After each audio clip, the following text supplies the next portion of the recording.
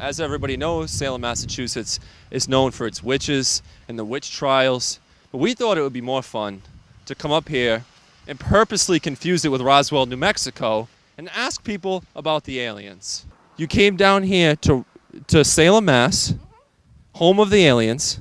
No, home of the witches. Which, that's the Blair Woods. Oh, hum- This is where the aliens landed. no, it's not where the aliens land. Area 51. I grew up here, and I don't believe any of it.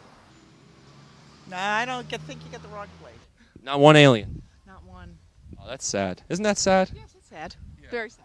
You've been abducted by any aliens today. I haven't, but Have you seen any UFOs? Not today. So you've never seen an alien. no. Well, how am I? Sp- I'm not from here, gooseball. Gooseball, that's funny.